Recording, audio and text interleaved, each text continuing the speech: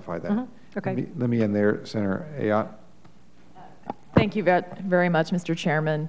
And uh, I wanted to thank you, uh, Dr. Dr. Lubchenco, for your testimony. And I had uh, several other hearings I had to be at, so if, if my questions are repetitive, I, I apologize in advance.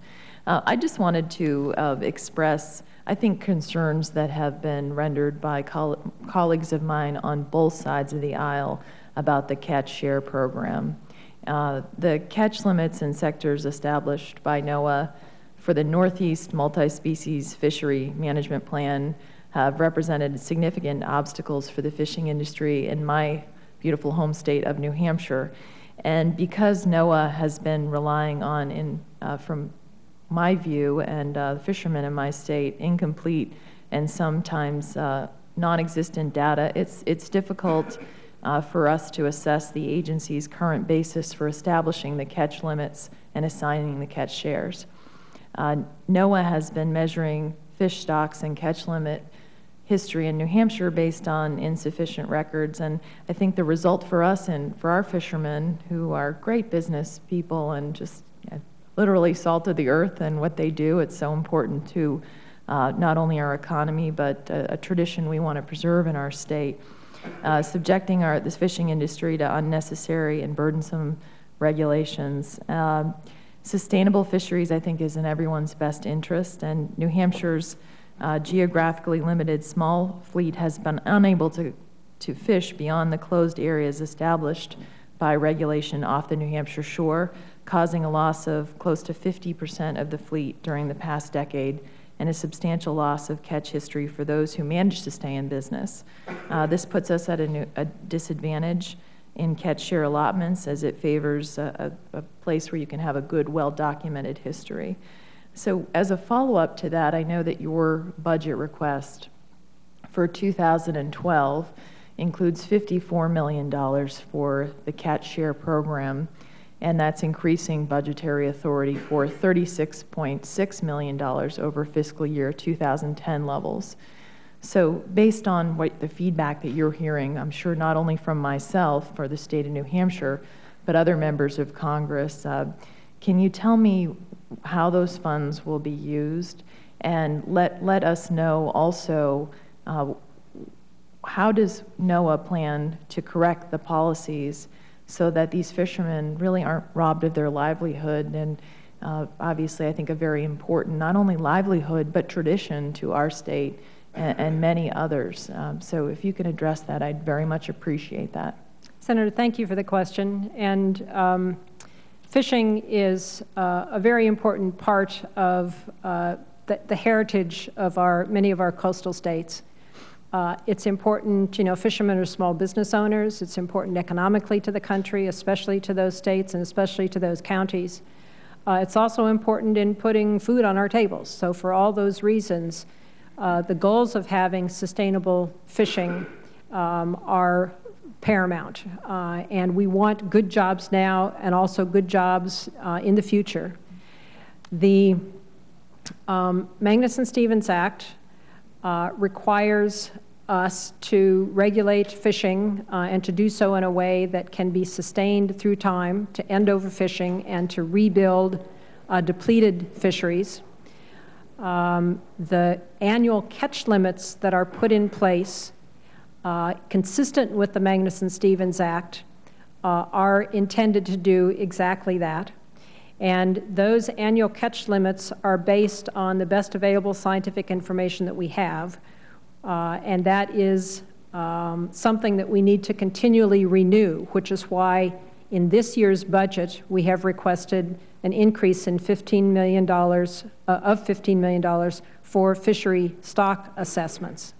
Uh, so we have the good information that feeds into setting the annual catch limits for each species.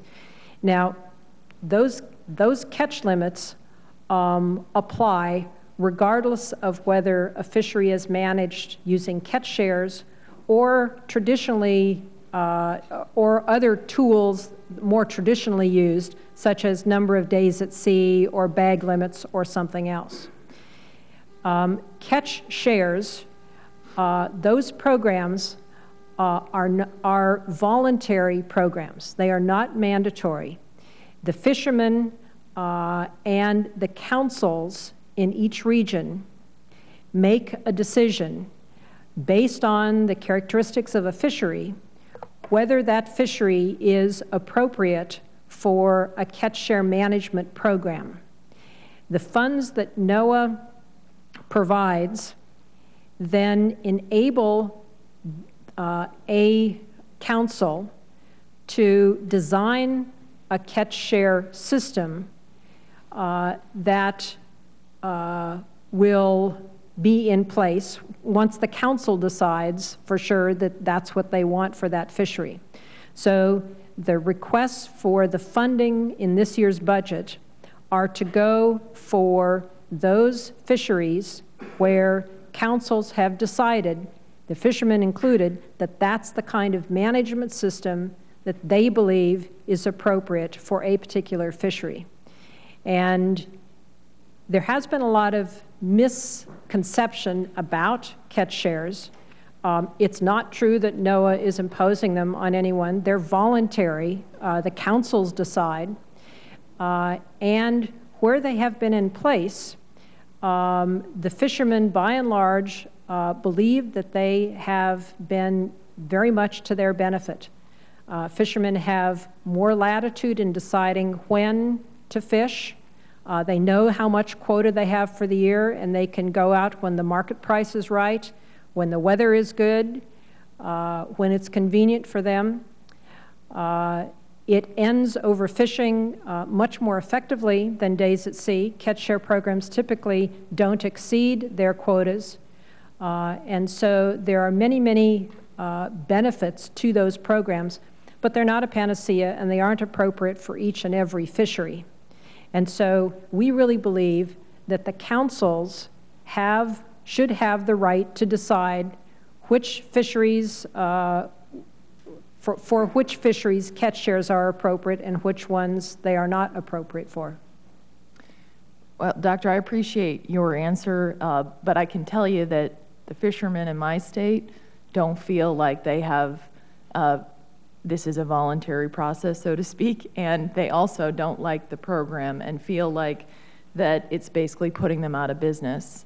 Uh, so I think that this is an issue that crosses party lines. Um, you know, so I appreciate what you're saying, but I think that we here in Congress really have a responsibility to look at this and to do things differently.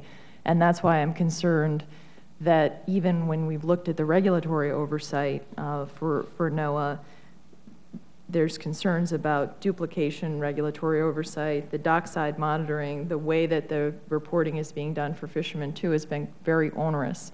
So I guess I'm saying to you, I, I'm, for one, want to make sure that we preserve uh, the opportunities for our fishermen. And um, so I, I, appreciate how you're describing it. It's just not the, the perspective that I'm certainly hearing from my constituents that I'm very deeply concerned about.